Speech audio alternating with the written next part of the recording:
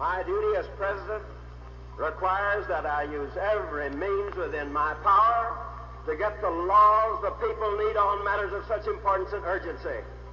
I am therefore calling this Congress back into session on the 26th of July. When Harry Truman left the White House in January of 1953, he was one of the most unpopular presidents to ever be a president of the United States.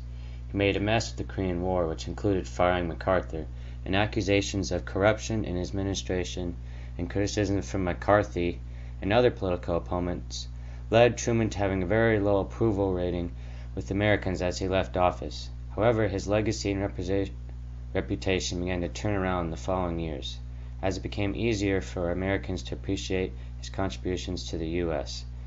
with the way he handled tough situations of American foreign policy. Critics of Harry Truman underestimate the difficulty of the political circumstances that he found himself in, with his own Democratic Party being very split on key issues, and he was always in a grind against Southern conservatives, who were determined to oppose him in Congress. Truman's achievements throughout his two terms were remarkable as he tackled some of the most arduous challenges any American president